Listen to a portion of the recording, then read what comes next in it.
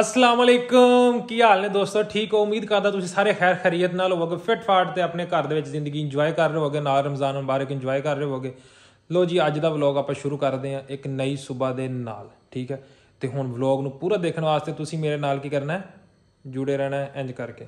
I love you ਇੱਕ ਹੱਥ ਲਾ ਲਵ ਯੂ ਕਰ। ਅਸਲਾਮ ਅਲੈਕਮ। ਚੋਰੀ ਸਾਹਿਬ ਕੀ ਹਾਲ ਨੇ? ਠੀਕ ਠਾਕ ਅੱਲਾ ਦਾ ਸ਼ੁਕਰ। ਆਜੋ ਜੀ। ਆ ਗਏ।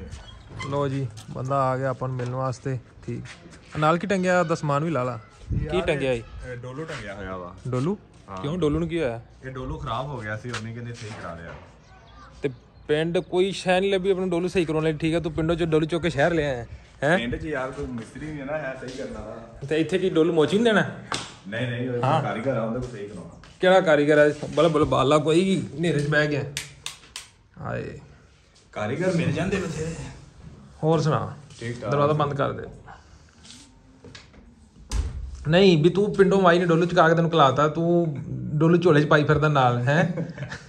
ਇਹ ਕਿਹੜਾ ਜਿਹੜਾ ਇਹ ਸੋਨੇ ਦਾ ਡੋਲੂ ਆ ਕੋਈ ਵੀ ਜਿਹੜਾ ਤੂੰ ਨਾਲ ਚੱਕੀ ਫਿਰਦਾ ਇੰਜ ਕਰਕੇ ਹੈ? ਯਾਰ ਇਹ ਸਪੈਸ਼ਲ ਡੋਲੂ ਇੰਦਰਾ ਕੁਝ ਯਾਦਾਂ ਵਾਪਸ ਹੈ ਕਿਹੜੀਆਂ ਯਾਦਾਂ ਵਸਾ ਤੇਰੀਆਂ ਜਿਹੜੀਆਂ ਤੂੰ ਡੋਲੂ ਦੇ ਨਾਲ ਐਸੀਆਂ ਜੋੜੀਆਂ ਡੋਲੂ ਦੇ ਇਹ ਕਰਸੇ ਤੋਂ ਰੱਖਿਆ ਨਾ ਨਾਲ ਫਿਰ ਉਹ ਇਨਸਾਨ ਦੀ ਯਾਦਾਂ ਇਹ ਮੈਨੂੰ ਲੱਗਦਾ ਉਹ ਡੱਲੂ ਹੈ ਜਦੋਂ ਆਪਾਂ ਲੋ ਜੀ ਮੈਂ ਇਹ ਜਿਹੜਾ ਦੋਸਤ ਹੈ ਅਸੀਂ ਬਚਪਨ ਦੇ ਕਲਾਸ ਫੈਲੋ ਹਾਂ ਠੀਕ ਹੈ। ਇਹ ਫਸਟ ਈਅਰ ਚ ਜਾ ਕੇ ਨਾ ਇਹਨੇ ਚਵਲ ਮਾਰੀ ਜਿੰਦੀ ਵਜ੍ਹਾ ਤੋਂ ਅਸੀਂ ਵੱਖਰੇ ਵੱਖਰੇ ਹੋ ਗਏ ਠੀਕ ਹੈ। ਇਹ ਇਹ ਡੋਲੂ ਮੈਨੂੰ ਲੱਗਦਾ ਉਹ ਡੋਲੂ ਆ ਜਿਹੜਾ ਨਿੱਕੇ ਹੁੰਦੇ ਆ ਨਾ ਇਹਨੂੰ ਪੈਂਦਾ ਹੁੰਦਾ ਸੀ ਚਲਾਵਾਂ ਜਦੋਂ ਮਤਲਬ ਇਹਨੇ ਸਵੇਰ ਸਵੇਰ ਆਮੀ ਨੇ ਕਹਿਣਾ ਦੁੱਧ ਲੈਣ ਜਾਣੇ ਕਹਿਣਾ ਮੈਂ ਹੀ ਆ ਮੈਂ ਨਹੀਂ ਜਾਣਾ ਤੇ ਡੋਲੂ ਇੰਚ ਚੱਕ ਕੇ ਮਾਈ ਮਾਰਦੇ ਨੇ ਇੰਜ ਕਰਕੇ ਚਲਾਵਾਂ। ਇਹ ਮੈਨੂੰ ਲੱਗਦਾ ਉਹੀ ਡੋਲੂ ਤੇ ਨਹੀਂ ਕਿਤੇ? ਬਸ ਇਸੇ ਤਰ੍ਹਾਂ ਦੇ ਕੋਈ ਯਾਦਾਂ ਵਾਪਸ ਆ ਨਾਲ ਇਹ ਬੰਦਾ ਜੀ ਅਸੀਂ ਸ਼ੁਰੂ ਤੋਂ ਕਲਾਸ ਫੈਲੋ ਰਹੇ ਹਾਂ ਠੀਕ ਹੈ। ਤੀਜੀ ਕਿ ਚੌਥੀ ਚ ਵੱਖਰੇ ਹੋਏ ਸੀ ਪਹਿਲੇ? ਨਹੀਂ ਆਪਾਂ ਤੀ- ਤੀਸਰੀ ਕਲਾਸ 'ਚ ਵੱਖਰੇ ਹੋਏ ਤੀਸਰੀ ਸੀ। ਕਲਾਸ ਦੇ ਵਿੱਚ ਭਾਈ ਜੀ ਇਹਦੀ ਜਿਹੜੀ ਨਾ ਜਿਹੜੇ ਅਸੀਂ ਸਕੂਲੇ ਪੜ੍ਹਦੇ ਸੀ ਉਹ ਸਕੂਲ ਵੀ ਇਹਦੀ ਕਜ਼ਨ ਦਾ ਸੀ ਠੀਕ ਹੈ। ਤੇ ਇਹਦੀ ਲੜਾਈ ਹੋ ਗਈ ਜੀ। ਇਹ ਇਹ ਲੜਾਈ ਕਿਉਂ ਹੋਈ? ਮੁੰਡਾ ਕਹਿੰਦਾ ਜੀ ਮੈਨੂੰ ਫਸਟ ਲੈ ਕੇ ਉਹ ਰੋਬ ਦੇ ਨਾਲ। ਇਹਦੀ ਹੋ ਗਈ ਲੜਾਈ ਇਹਨੇ ਛੱਡ ਦਿੱਤਾ ਸਕੂਲ। ਇਹ ਛੱਡ ਕੇ ਉੱਥੇ ਚਲਾ ਗਿਆ ਸਰਕਾਰੀ ਸਕੂਲੇ। ਮੈਂ 6ਵੀਂ ਉੱਥੇ ਕੀਤੀ ਹੈ ਉਸ ਤੋਂ ਬਾਅਦ ਫਿਰ ਅਸੀਂ ਦੁਬਾਰਾ ਮਿਲ ਗਏ ਜਾ ਕੇ ਦੂਸਰੇ ਸਕੂਲੇ। ਤੇ ਫਿਰ ਫਸਟ ਈਅਰ ਚ ਜਾ ਕੇ ਨਾ ਇਹਨੇ ਉਕਾੜੇ ਦਾ ਕੋਈ ਕਾਲਜ ਨਹੀਂ ਛੱਡਿਆ। ਇਹਨੇ ਜਨਾਬ ਜੀ ਨੇ ਸਾਰੇ ਕਾਲਜ ਐਡਮਿਸ਼ਨ ਲੈ ਲਈ ਮੈਨੂੰ ਕਹਿੰਦਾ ਪੰਜਾਬ ਕਾਲਜ ਮੈਂ ਕਿਹਾ ਭਾਈ ਮੈਂ ਗਰੀਬ ਬੰਦਾ ਠੀਕ ਹੈ ਦਿਹਾੜੀਦਾਰ ਬੰਦਾ ਮਜ਼ਦੂਰ ਬੰਦਾ ਮੇਰੇ ਕੋਲ ਪੰਜਾਬ ਕਾਲਜ ਦੀ ਫੀਸ ਨਹੀਂ ਭਰੀ ਜਾਂਦੀ ਠੀਕ ਹੈ। ਸਾਹਿਬ ਜੀ ਕਹਿੰਦਾ ਪੰਜਾਬ ਕਾਲਜ ਚ ਲੈਣਾ ਮੈਂ ਕਿਹਾ ਨਾ ਜੀ ਅਸੀਂ ਪੰਜਾਬ ਛੱਡ ਕੇ ਸਪੀਰੀਅਰ ਗਏ ਸਪੀਰੀਅਰ ਛੱਡ ਕੇ ਮੈਨੂੰ ਸਕਾਲਰਸ਼ਿਪ ਲੱਭ ਗਈ ਮੈਂ ਤੁਰ ਗਿਆ ਕਾਇਦ ਆਜ਼ਮ ਚ। ਤੇ ਇਹ ਸਾਹਿਬ ਜੀ ਨੇ ਕੀ ਕੀਤਾ? ਇਹਨੇ ਪੰਜਾਬ ਕਾਲਜ ਚ ਲੈ ਲਿਆ। ਪਹਿਲੇ ਕਿਹਦੇ ਚ ਲਿਆ ਸੀ? ਸੂਫਾ ਚ ਲਿਆ ਪੰਜਾਬ ਚ ਲਿਆ ਸੀ? ਪੰਜਾਬ 'ਚ ਲਿਆ ਸੀ। ਪਹਿਲੇ ਪੰਜਾਬ ਚ ਲਿਆ। ਪੰਜਾਬ ਤੋਂ ਬਾਅਦ ਸਟੋਰੀ ਸੁਣਾ ਦੀ ਪੰਜਾਬ ਤੋਂ ਬਾਅਦ ਕਿੰਨੇ ਚ ਲਿਆ? ਆ ਸੀ ਜਾਂਦਾ। ਇਹਨੇ ਜੀ ਪਹਿਲੇ ਲਿਆ ਪੰਜਾਬ ਕਾਲਜ ਐਡਮਿਸ਼ਨ ਠੀਕ ਹੈ। ਫਿਰ ਫਿਰ ਜਿਹੜਾ ਨਾ ਮੈਨੂੰ ਆਇਆ ਕਰੇ ਕਿ ਉਹਦਾ ਨਾਮ ਛੁੱਟੀ ਹੋਇਆ ਕਰੇ, ਅੱਧਾ ਘੰਟਾ ਪਹਿਲੇ, ਇਹਨੂੰ ਛੁੱਟੀ ਹੋਇਆ ਕਰੇ ਅੱਧਾ ਘੰਟਾ ਬਾਅਦ। ਹੁਣ ਜੀ ਮੈਂ ਅੱਧਾ ਘੰਟਾ ਪਹਿਲੇ ਪਿੰਡ ਪਹੁੰਚ ਜੰਨੇ ਅੱਧਾ ਘੰਟਾ ਬਾਅਦ ਪਹੁੰਚਣਾ ਸੀ, ਜਦੋਂ ਅਕੈਡਮੀ ਚ ਮਿਲਣਾ, ਮੈਂ ਕਹਿਣਾ, ਲੈ ਮੈਂ ਤੇ ਆਇਆ 1 ਵਜੇ, ਇਹਨੇ ਕਹਿਣਾ, ਮੈਂ 1:30 ਵਜੇ। ਤੈਨੂੰ ਕੰਮ ਕਿਹਦਾ ਮੈਂ ਕਹਿੰਦਾ ਮੈਨੂੰ ਤੇ ਇਹ ਇਹ ਪੜਾਇਆ ਤੇ ਇੰਨਾ ਕੰਮ ਮਿਲਿਆ ਮੈਨੂੰ ਕੰਮ ਇਹਨਾਂ ਮਿਲਿਆ ਕਹਿੰਦਾ ਜੀ ਮਾਸਟਰ ਕੁੱਟਦੇ ਬੜੇ ਨੇ ਠੀਕ ਹੈ। ਮਾਸਟਰ ਨੇ ਮੁਰਗਾ ਬਣਾ ਕੇ ਤੇ ਤਸ਼ਰੀਫ ਮਾਰ ਮਾਰ ਕੇ ਸੋਟੀਆਂ ਤਸ਼ਰੀਫ ਸਾਹਿਬ ਜਿਹੜੀਆਂ ਨਾ ਲਾਲ ਕਰ ਦਿੱਤੀਆਂ ਨੇ। ਠੀਕ ਹੈ ਜੀ ਤੇ ਜਨਾਬ ਨੇ ਜਿਹੜਾ ਨਾ ਪੰਜਾਬ ਕਾਲਜ ਛੱਡਤਾ। ਪੰਜਾਬ ਛੱਡ ਕੇ ਗਿਆ ਸੂਫਾ ਚ? ਨਹੀਂ ਪੰਜਾਬ ਛੱਡ ਕੇ ਗਿਆ ਸਪੀਰੀਅਰ ਚ। ਕਹਦੇ ਆਦਮ ਤੇਰੇ ਨਾਲ ਹੀ ਨਹੀਂ ਨਹੀਂ ਨਹੀਂ ਨਹੀਂ ਨਹੀਂ ਕਹਿ ਦੋ ਤੂੰ ਕਿੰਨਾ ਘੁੰਮ ਕੇ ਆਇਆ ਕਹਿ ਸੀ। ਦੋ ਨਹੀਂ ਨਹੀਂ ਪੰਜਾਬ ਛੱਡਿਆ ਸੀ ਤੇਰੇ ਕੋਲ ਕਹਦੇ ਆਦਮ ਆ ਗਿਆ ਸੀ। ਤੂੰ ਜਿਹੜੇ ਬਾਕੀ ਕਾਲਜ ਉਹ ਕਸਟਮ ਘੁੰਮੇ ਸੀ। ਉਹ ਬਾਕੀ ਕੇ ਕਾਲਜ ਦੇ ਪ੍ਰੀ ਕਲਾਸਾਂ ਹੀ ਘੁੰਮੇ ਸੀਗੇ ਯਾਰ। ਨਹੀਂ ਨਹੀਂ ਨਹੀਂ ਨਹੀਂ ਨਹੀਂ ਪੁੱਤਰ ਮੈਨੂੰ ਤੂੰ ਬੱਚਾ ਨਾ ਬਣਾ ਜਿਹੜਾ 10000 ਰੁਪਇਆ ਸੋਫਾ ਹੀ ਦੇ ਕੇ ਆਏ ਸੀ ਆਪਾਂ ਦੋਵੇਂ ਜਣੇ। ਯਾਰ ਸੋਫਾ ਦੇ ਪ੍ਰੀ ਕਲਾਸਾਂ ਲਈਆਂ ਸੀ। ਇਹ ਇਹ ਨਾ ਜੀ ਇਹ ਕਿਤੇ ਮੇਰਾ ਮੋਢਾ ਥੱਕ ਜਾਂਦਾ। ਏ ਇੱਕ ਨਾ ਇੱਕ ਇਹਨੇ ਜੀ ਸੂਫਾ 'ਚ ਐਡਮਿਸ਼ਨ ਲਿਆ। ਉਸ ਤੋਂ ਬਾਅਦ ਇਹਨੇ ਸਪੀਰੀਅਰ 'ਚ ਵੀ ਗਿਆ। ਸਪੀਰੀਅਰ ਤੋਂ ਬਾਅਦ ਇਹ ਕਿੱਥੇ ਗਿਆ? ਇਹ ਕਾਇਦੇ ਆਜ਼ਮ ਡਿਪਲੋਮੇ ਵਾਲੇ 'ਚ ਤੂੰ ਗਿਆ ਸੀ ਪੁੱਤਰ, ਤੂੰ ਮੇਰੇ ਵਾਲੇ 'ਚ ਨਹੀਂ ਸੀ ਆਇਆ। ਇਹ ਡਿਪਲੋਮੇ ਵਾਲੇ 'ਚ ਗਿਆ, ਇਹਨੇ ਜਾ ਕੇ 3 ਸਾਲ ਦਾ ਡਿਪਲੋਮਾ ਸ਼ੁਰੂ ਕਰ ਲਿਆ। ਫਿਰ ਡਿਪਲੋਮੇ ਦੀ ਸਮਝ ਨਹੀਂ ਆਈ, ਫਿਰ ਇਹ ਕਿਹੜੇ ਕਾਲਜ, ਨਵਾਂ ਜਿਹੜਾ ਬਾਈਪਾਸ ਬਣਿਆ? ਕਨਕੋਰਡੀਆ ਕਾਲਜ ਉਹ ਟੈਬ ਦਿੰਦੇ ਸੀ। ਠੀਕ ਹੈ। ਉਹ ਕਨਕੋਰਡੀਆ ਨੇ ਉਸ ਟਾਈਮ ਨਾ ਆਫਰ ਦਿੱਤੀ ਸੀ ਕਿ ਐਡਮਿਸ਼ਨ ਬੱਚਾ ਲੈਂਦਾ ਸੀ ਨਾ ਬੱਚੇ ਨੂੰ ਟੈਬ ਦਿੰਦੇ ਸੀ ਠੀਕ ਹੈ। ਤੇ ਇਹਨੇ ਜੀ ਟੈਬ ਲੈਣ ਵਾਸਤੇ ਨਾ ਉਹ 10000 ਰੁਪਏ ਦਾ ਟੈਬ ਮਾਰਕੀਟ ਚੋਂ ਨਹੀਂ ਲਿਆ। ਉਹਨਾਂ ਨੂੰ ਜਾ ਕੇ 50000 ਰੁਪਏ ਫੀਸ ਦੇਤੀ ਕਿ ਉਥੋਂ ਟੈਬ ਮਿਲੇਗਾ। ਤੇ ਉਹਨਾਂ ਨੇ ਕੀ ਕੀਤਾ ਜੀ? ਉਹਨਾਂ ਨੇ ਟੈਬ ਵੀ ਨਹੀਂ ਦਿੱਤੀ। ਮੁੰਡੇ ਨਾਲ ਕੀ ਹੋਇਆ? ਮੋਏ ਮੋਏ ਹੋ ਗਿਆ। ਠੀਕ ਹੈ। ਉਹ ਹਿਸਾਬ ਹੋਇਆ ਸੀ ਕਿ ਕੋਈ ਕਾਂ ਕੋਈ ਕਾਂ ਚਲਾ ਗਿਆ ਹੰਸਾਂ ਦੀ ਬੋਲੀ ਸਿੱਖਣ। ਤੇ ਉਹ ਆਪਣੀ ਵੀ ਬੋਲੀ ਭੁੱਲ ਆਇਆ। ਉਹ ਢੋਡੜ ਕਾਂ ਬਣ ਗਿਆ। ਅਸੀਂ ਉਹ ਢੋਡੜ ਕਾਂ ਬਣ ਗਏ ਸੀ ਉਦੋਂ। ਉਹ ਹਿਸਾਬ ਹੋਇਆ ਠੀਕ ਹੈ। ਆ ਕੁੱਕ ਕੇ ਜੀ ਫੇਰੇ ਆਇਆ। ਰਨਾਲਾ ਖੁਰਦ ਹਾਇਰ ਸੈਕੰਡਰੀ 'ਚ। ਉਧਰੋਂ ਪ੍ਰਾਈਵੇਟ ਆਈਕੋਮ ਕੀਤਾ ਸੀ। ਉਧਰੋਂ ਫਿਰ ਜਿਹੜਾ ਨਾ ਆਈਕਮ ਕੀਤਾ ਫਿਰ ਆਪਾਂ ਸੈਕੰਡ ਇਅਰ 'ਚ ਕਿਵੇਂ ਮਿਲੇ ਸੀ? ਸੈਕੰਡ ਇਅਰ ਜੋ ਅਕੈਡਮੀ ਉੱਥੇ ਇਕੱਠੀ ਬਣ ਹਾਂ ਫਿਰ ਅਸੀਂ ਜਾ ਕੇ ਅਕੈਡਮੀ 'ਚ ਮਿਲੇ ਤੇ ਫਿਰ ਮੁੰਡੇ ਨੇ ਯੂਨੀਵਰਸਿਟੀ 'ਚ ਐਡਮਿਸ਼ਨ ਤੋਂ ਇੱਕ ਸਾਲ ਪਹਿਲੇ ਲਿਆ ਯੂਨੀਵਰਸਿਟੀ ਦੇ ਵਿੱਚ ਫਿਰ ਮੈਂ ਇਹਦਾ ਹੋ ਗਿਆ ਸੀਨੀਅਰ ਮੈਨੂੰ ਕਹਿੰਦਾ ਭਰਾ ਇੱਕ ਤਰੀਕਾ ਦੱਸ ਕਿ ਪੜਨਾ ਕੋਈ ਨਹੀਂ ਹੁਣ ਮੇਰਾ ਦਿਲ ਚਾਲੂ ਹੋ ਗਿਆ ਪੜ੍ਹਾਈ ਤੋਂ ਮੈਨੂੰ ਦੁਨੀਆ ਨੇ ਇੰਨਾ ਕੁ ਜ਼ਲੀਲ ਕਰ ਛੱਡਿਆ ਨਾ ਮੇਰੀ ਜ਼ਿੰਦਗੀ ਤਬਾਹ ਬਰਬਾਦ ਹੋ ਗਈ ਹੈ ਠੀਕ ਹੈ ਤੇ ਮੇਰਾ ਪੜ੍ਹਾਈ ਤੋਂ ਦਿਲ ਚਾਲੂ ਹੋ ਗਿਆ ਪੜਨਾ ਨਹੀਂ ਕੋਈ ਤਰੀਕਾ ਦੱਸ। ਮੈਂ ਕਿਹਾ ਤੈਨੂੰ ਸੀਆਰ ਬਣਾ ਦੇਾਂਗੇ ਸਾਰੀਆਂ ਭੈਣਾਂ ਦਾ ਭਰਾ ਬਣਾ ਦੇਾਂਗੇ ਠੀਕ ਹੈ? ਚੋਰੀ ਹਸਨ ਭਾਈ ਬਣਾ ਦੇਾਂਗੇ ਹਰ ਪੂਰੀ ਯੂਨੀਵਰਸਿਟੀ ਦਾ ਭਾਈ ਚੋਰੀ ਹਸਨ ਭਾਈ, ਠੀਕ ਹੈ? ਤੇ ਜਨਾਬ ਨੂੰ ਆਪਾਂ ਸੀਆਰ ਬਣਵਾ ਦਿੱਤਾ, ਠੀਕ ਹੈ? ਸਾਡੀ ਕਲਾਸ ਦੀ ਕੁੜੀ ਸੀ, ਉਹਨੂੰ ਮੈਡਮ ਬਣਾਇਆ। ਮੈਡਮ ਬਣਾ ਕੇ ਮੈਂ ਆਪਦੀ ਅੱਧੀ ਕਲਾਸ ਵਿੱਚ ਜਾ ਕੇ ਇਹਨਾਂ ਦੀ ਕਲਾਸ 'ਚ ਬਾ ਕੇ, ਠੀਕ ਹੈ ਜੀ, ਉੱਥੇ VOTING ਕਰਾਈ, VOTING ਕਰਾ ਕੇ ਮੁੰਡੇ ਨੂੰ ਬਣਾਤਾ ਸੀਆਰ। ਮੁੰਡਾ ਸੀਆਰ ਬਣਿਆ, ਇੱਕ ਵਾਰੀ ਵਾਮ ਨੇ ਕਰਤਾ ਰਿਜੈਕਟ ਦੂਜੀ ਵਾਰੀ ਫੇਰ ਅਸੀਂ ਫੇਕ ਸੀਆਰ ਬਣਾਤਾ, ਉਹ ਵੀ ਰਿਜੈਕਟ ਤੀਜੀ ਵਾਰੀ ਫੇਰ ਬਣਾਤਾ। ਮੁੰਡਾ ਫਾਈਨਲੀ ਸੀਆਰ ਬਣ ਗਿਆ ਤੇ ਫਿਰ ਮੁੰਡਾ ਬੈਚਲਰ 'ਚ ਵੀ ਸੀਆਰ ਰਿਹਾ ਤੇ ਹੁਣ ਸਾਹਿਬ ਜੀ ਨੇ ਮਾਸਟਰ ਕਰ ਲਿਆ ਮਾਸਟਰ 'ਚ ਵੀ ਸੀਆਰ ਰਿਹਾ ਤੇ ਸੀਆਰ ਤੁਹਾਨੂੰ ਫਿਰ ਪਤਾ ਕਹਾਣੀ ਸੀਆਰ ਜਿਹੜਾ ਨਾ ਸਿਰਫ ਭਰਾ ਬਣ ਸਕਦਾ, ਹੋਰ ਕੁਝ ਨਹੀਂ ਬਣ ਸਕਦਾ। ਤੇ ਇਸ ਵਜ੍ਹਾ ਤੋਂ ਭਰਾ ਬਣਨ ਦੀ ਵਜ੍ਹਾ ਤੋਂ ਮੁੰਡਾ ਜਿਹੜਾ ਨਾਲ ਟੈਨਸ਼ਨਾਂ ਦੇ ਨਾਲ ਵਾਲ ਵੀ ਝੜ ਗਏ ਨੇ ਤੇ ਮੁੰਡਾ ਜਿਹੜਾ ਨਾ ਬਸ ਸਮਾਈਲ ਕਰਨ ਦੀ ਕੋਸ਼ਿਸ਼ ਕਰ ਰਿਹਾ, ਠੀਕ ਹੈ। ਸੀਆਰ ਜਿਹੜਾ ਨਾ ਬਸ ਫਿਰ ਸੀਆਰ ਦੀ ਇਹੀ ਕਹਾਣੀ ਹੁੰਦੀ ਤੁਹਾਨੂੰ ਤਾਂ ਪਤਾ ਹੀ ਹੈ ਫਿਰ। Later. ਹਾਂਜੀ ਬਾਜ਼ਾਰੋਂ ਕੋਈ ਸ਼ਾਇਦ ਨਹੀਂ ਚਾਹੀਦੀ ਚਾਹੀਦੀ ਤੁਹਾਨੂੰ? ਅਗਰ ਕੋਈ ਚਾਹੀਦੀ ਇਫਤਾਰੀ ਵਾਸਤੇ ਤਾਂ ਮੈਨੂੰ ਦੱਸੋ। ਚੈੱਕ ਕਰ ਲੈ ਜੇ ਕੋਈ ਚੀਜ਼ ਨਹੀਂ ਹੈਗੀ ਤੇ ਲੈ ਆ। ਇਹ ਜਿਹੜਾ ਚੈੱਕ ਕਰਨ ਵਾਲਾ ਮਾਜਰਾ ਹੈ ਨਾ ਮੈਨੂੰ ਲੱਗਦਾ ਹੈ ਕਿ ਤੁਹਾਡਾ ਦਿਲ ਵੀ ਕਰ ਰਿਹਾ ਹੈ ਕਿ ਜਦ ਜਾਣ ਨੂੰ ਨਾ।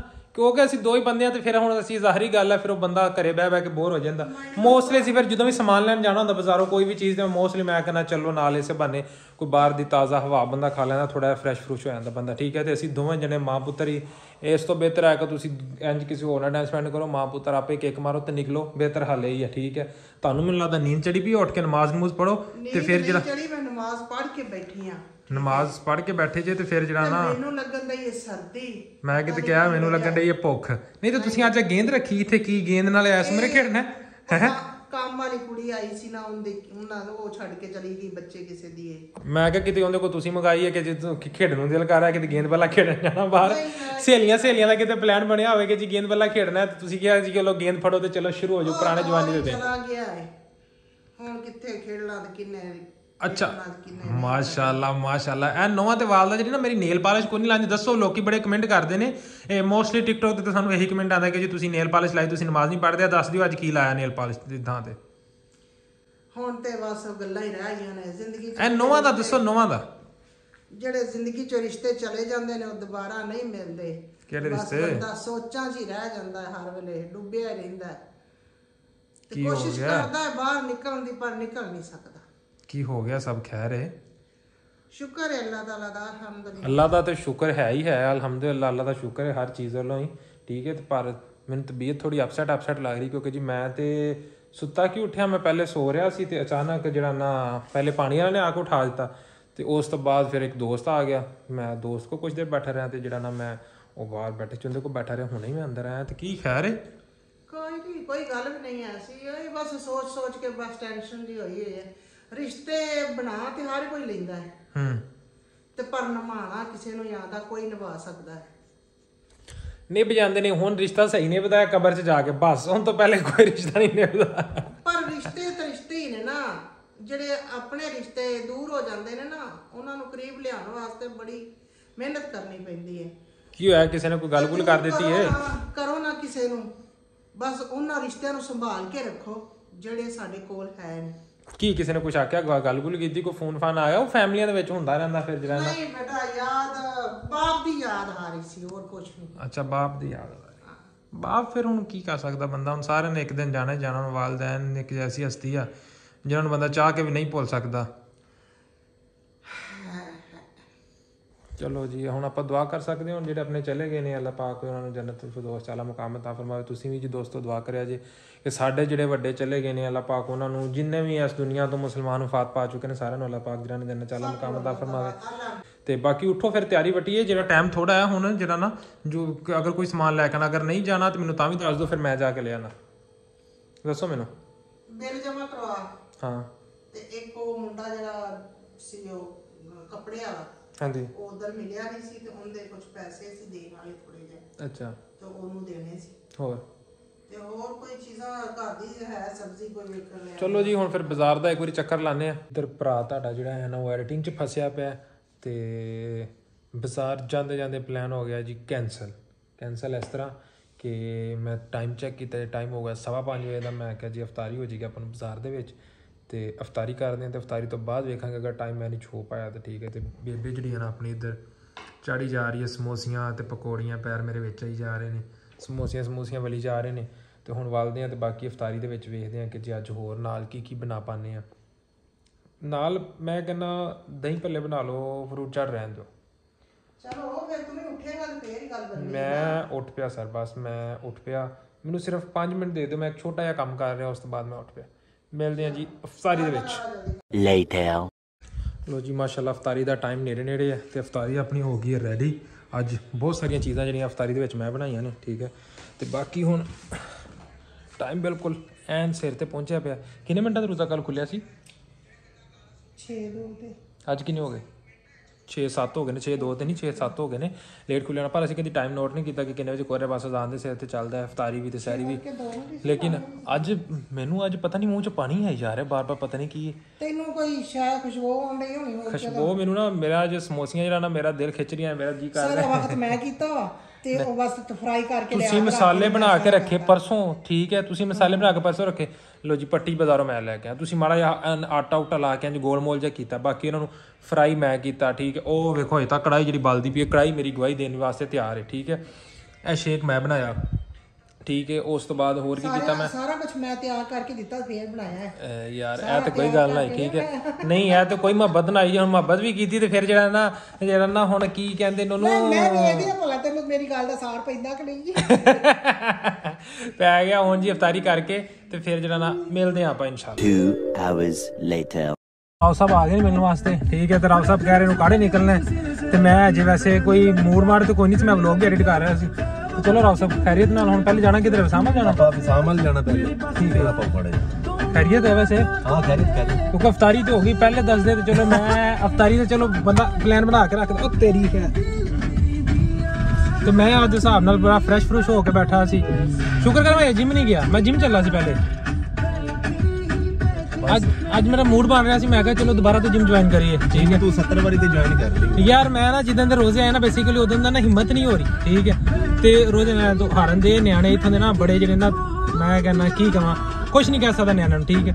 ਚਲੋ ਜੀ ਹੁਣ ਪਿੰਡ ਜਾ ਕੇ ਮਿਲਦੇ ਆ ਦੂਜੇ ਜਵਾਨ ਨੂੰ ਚੱਕੀਏ।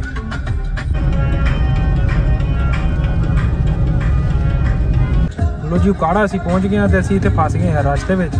ਸਾਹਿਬ ਜੀ ਕਹਿ ਰਹੇ ਸੀ ਕਿ ਜੀ ਟਰੋਜ਼ਰ ਸ਼ਰਟ ਲੈਣਾ ਤੇ ਇੱਧਰ ਮੈਨੂੰ ਲੱਗਦਾ ਰਾਮ ਸਾਹਿਬ ਆਪਾਂ ਰਾਤ ਭਾਵੇਂ ਇੱਥੇ ਲੰਘ ਜਾ ਆਪਾਂ ਨੂੰ। ਇੱਕ ਤੇ ਆਪਾਂ ਗਲਤ ਪਾਸੇ ਗਏ ਆ ਨਹੀਂ ਆਪਾਂ ਇਧਰੋਂ ਵੇਖ ਲਈਏ ਕੋਈ ਸ਼ੇਰਵਾਨੀ ਸ਼ੇਰਵਾਨੀ ਤੇਰੇ ਲਈ ਲੈ ਲਈਏ। ਕਿਹੜਾ ਪਿਆ ਵਾ? ਦੂਸਰਾ ਕਰਾ ਦਿੰਦੇ ਆ ਕੋਈ ਮਸਲਾ ਨਹੀਂ ਹੈ। ਟੈਨਸ਼ਨ ਨਹੀਂ। ਲੈਣੀ। ਤੇ ਹੁਣ ਆਪਾਂ ਜਾਣਾ ਕਿਹੜੇ ਪਾਸੇ? ਇਹ ਕੀ? ਉਧਰ ਕੀ ਆ ਗਿਆ? ਐ ਇੰਜੋਏ ਕਰੋ ਇੰਜੋਏ ਕਰੋ ਜੀ। ਵਾਈਟ ਵਾਈਟ ਰਸ਼ ਵਾਵਾ ਹੀ ਪੈ ਗਿਆ। ਵਾਮ ਪਤਾ ਨਹੀਂ ਕਿਉਂ ਘੂਰ ਘੂਰ ਵੇਖਣ ਲੱਗਦਾ ਨਾ ਸਟਾਰ ਪਹਿਲੀ ਵਾਰ ਵੇਖਿਆ। ਸਾਰੀ ਵਾਮ ਸੱਜੇ ਖੱਬੇ ਘੂਰ ਘੂਰ ਵੇਖੀ ਜਾ ਰਹੀ ਹੈ। ਲੋ ਜੀ ਜਿਹੜੀ ਜਿਹੜੀ ਵਾਮ ਕਾੜਾ ਤੋਂ ਲਿੰਕ ਕਰ ਰਹੀ ਹੈ? ਨਾ ਠੀਕ ਹੈ ਤਾਂ ਕਮੈਂਟ ਸੈਕਸ਼ਨ ਦੇ ਵਿੱਚ ਕਮੈਂਟ ਕਰਕੇ ਜ਼ਰੂਰ ਦੱਸਣਾ। ਠੀਕ ਹੈ। ਬਹੁਤ ਤੂੰ ਵੇਖ ਹਾਂ ਕਮੈਂਟ ਸੈਕਸ਼ਨ ਦੇ ਵਿੱਚ ਨਾ ਰੈੱਡ ਰੈੱਡ ਦਿਲ ਘੱਲਨੇ ਨੇ ਸਾਰੇ ਕੋਨੋ ਕੋ ਚਲੋ ਰਾਓ ਸਾਹਿਬ ਆਪਾਂ ਮੈਨੂੰ ਲੱਗਦਾ ਕੰਮ ਇਧਰ ਗੱਲ ਕੰਮ ਹੋ ਜਾਏਗਾ। ਲੈਫਟ ਸਾਈਡ ਲਵੋ ਤੇ ਲੈ ਕੇ ਤੇ ਕੰਮ ਕਮਾ ਲੋ ਜੀ ਜੇ ਰੋਡ ਤੇ ਆ ਗਏ ਆਪਾਂ। ਲੋ ਜੀ ਸ਼ਾਪਿੰਗ ਕਰਨ ਆ ਗਏ ਹੁਣ ਤੇ ਵੇਖਦੇ ਆ ਕੋਈ ਈਦ ਵਾਸਤੇ ਚੀਜ਼ ਇੱਥੋਂ। ਲੋ ਜੀ ਵਸਾਮ ਭਾਈ ਜਿਹੜਾ ਨਾ ਇਹ ਆਪਣਾ ਚੈਨਲ ਸਰਚ ਕਰ ਰਿਹਾ ਕ੍ਰੀਏਟਿਵ ਫੈਮਿਲੀ ਦੇ ਨਾਂ ਤੋਂ।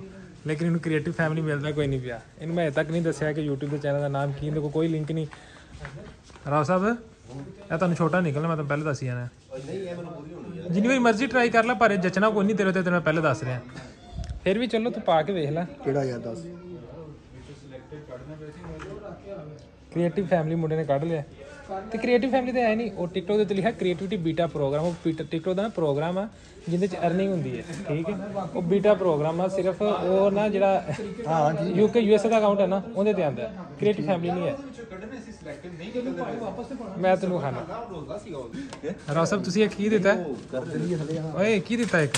ਸਬਸਕ੍ਰਾਈਬਰ ਨਹੀਂ ਨਹੀਂ ਦੁਬਾਰਾ ਦੱਸ। ਸਬਸਕ੍ਰਾਈਬਰ ਦੀ। ਨਹੀਂ ਨਹੀਂ ਪਹਿਲੇ ਜੋ ਤੂੰ ਪਹਿਲੇ ਨਿੱਕੇ ਹੁੰਦੇ ਕਹਿੰਦਾ ਹੁੰਦਾ ਸੀ ਯੂਨੀਵਰਸਿਟੀ ਟਾਈਮ ਦੇ ਵਿੱਚ ਕੀ ਕਹਿੰਦਾ ਹੁੰਦਾ ਸੀ? ਨਹੀਂ ਨਹੀਂ ਦੱਸ ਦੇ ਯਾਰ ਕੀ ਕਹਿੰਦਾ ਸਬਸਕ੍ਰਾਈਬਰ ਸਭ ਸਬਸਕ੍ਰਾਈਬਰ One hour later.